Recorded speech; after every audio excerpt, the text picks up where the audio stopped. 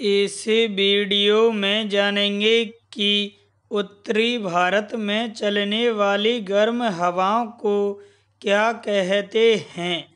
इसका सही जवाब है लू।